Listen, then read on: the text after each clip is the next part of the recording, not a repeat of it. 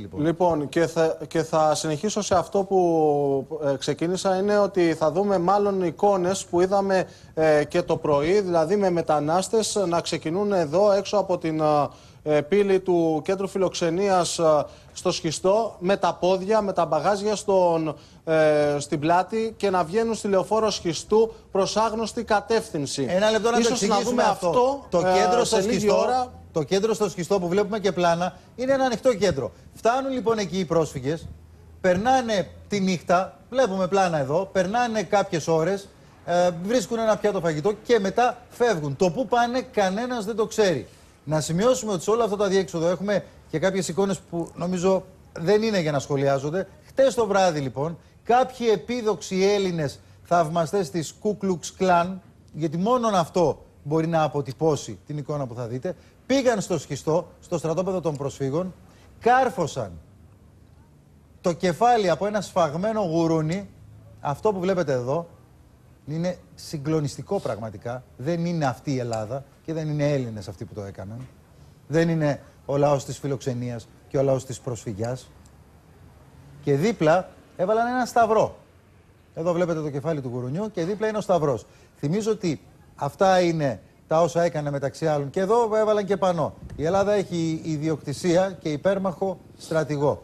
Αυτά λοιπόν στο Σταυρό ευτυχώς δεν έβαλαν και φωτιά για να ε, έχουμε πια την πλήρη εικόνα ε, αυτού που λέμε ορισμό του ρατσισμού και της ξενοφοβίας. Δείτε την εικόνα με τον Σταυρό αριστερά και το κεφάλι από το σφαγμένο γουρούνι δεξιά. Τα λέει όλα νομίζω. Τώρα, και Λάμπρο, αυτό, Νίκο. Έχεις και ένα χαρτί στα χέρια έριξαν σου. Και το αίμα, έριξαν και το αίμα. Ε, Βεβαίως, ε, να τελειώσω όμως μόνο ναι, ναι αυτό, ναι, Νίκο. Έριξαν και το αίμα από το γουρούνι στο έδαφος για να χαρακτηριστεί από τους μουσουλμάνους ως μολυσμένο το έδαφος και να μην, μείνουνε, να μην περάσουν τη νύχτα τους μέσα στο κέντρο φιλοξενίας. λοιπόν, έχω, ναι, έχω στα χέρια μου ένα χαρτί το οποίο το βρήκαμε να το έχουν πάνω τους πάρα πολλοί μετανάστες. Ε, πραγματικά προκαλεί εντύπωση. Και θα σας πω τι αναφέρει. Στη μία πλευρά του, του χαρτιού υπάρχει ο χάρτης τον βόρειο, τον, από, το, από τη Βόρειο Ελλάδα, την, ε, τα Σκόπια, την Ρουμανία, ε, τη Γερμανία, μέχρι και τη Γερμανία. Από την άλλη πλευρά υπάρχει ο χάρτης της Ελλάδος και υπάρχουν και δύο σημεία τα οποία μπορούν να βρουν καταφύγιο οι μετανάστες.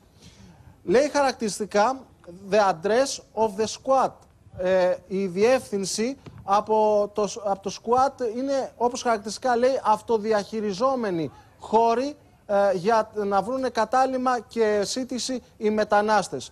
Ο ένας βρίσκεται στην Αθήνα, στα Εξάρχεια, στην Οδό Νοταρά ε, και ψάχνοντας κανείς θα διαπιστώσει ότι στη συγκεκριμένη διεύθυνση είναι ένα κτίριο ε, από, που στεγαζόταν παλαιότερα εφορία και πλέον έχει γίνει χώρος, αυτοδιαχειριζόμενος χώρος ε, από αντεξουσιαστές. Και το δεύτερο που είναι λαμπρό; Και η, άλλη διεύθυνση είναι στη Θεσσαλονίκη, στη Θεσσαλονίκη στην οδό Λαμπράκη και όπως χαρακτηριστικά λέει ε, το έγγραφο αυτό, ε, θα πάρει κάποιος τη γραμμή 14 του λεωφορείου. Μάλιστα, περιγράφει και το, τον τρόπο για να φτάσει εκεί. Και ακριβώς εκεί Ωραία. Ακριβώς. Θα, θα έρθουμε ε, σε λίγο ξανά. Αν αναρωτιέται κανείς... Ναι. Με, για...